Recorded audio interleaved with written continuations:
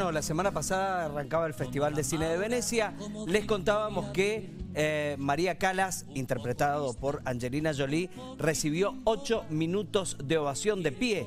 Y ayer presentó su película, eh, nada más ni nada menos que el gran Pedro Almodóvar, su primera película hablada totalmente en inglés y fue ovacionado, escuchá esto Tano, durante 17 minutos. Ovación de pie para Pedro Almodóvar allí en el Festival de Cine de Venecia, la Mostra di Venezia. Eh, se habla de que si la película es ovacionada durante 5 minutos es buena. Si la película es ovacionada durante 10 minutos es muy buena, pero si es ovacionada durante 20 minutos, la película es excelente. Eso dice el mito popular de las grandes ovaciones en los festivales de cine más importantes del mundo, entre ellos eh, este Festival de Cine de Venecia. Ahora, eh, también es real que quienes van a los festivales de cine, va la industria del cine.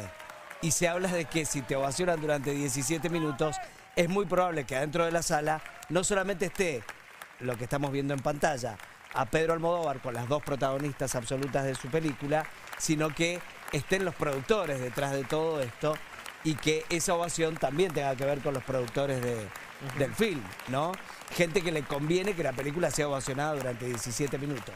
De todas maneras, sostener una ovación durante 17 minutos un poco es, exagerado, Pero, pero sucede. Está bien, Sucede. Es mucho, es mucho. Eh, y en este caso. Dos tres minutos ya está, está bien. En este caso. 17 eh, minutos es mucho.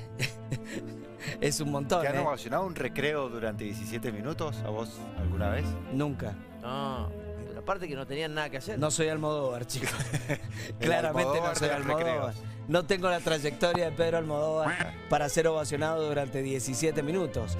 Eh, yo creo que están muy bien buscadas, sobre todo, más allá de la historia, están muy bien buscadas las dos actrices. ¿no? Julianne Moore y Tilda Swinton eh, son todo lo que está bien en Hollywood. Así que la verdad, eh, seguramente la película de la mano de Almodóvar debe ser muy buena. Las imágenes son muy fuertes y se habla de que es eh, la película más triste de todas las películas de Almodóvar.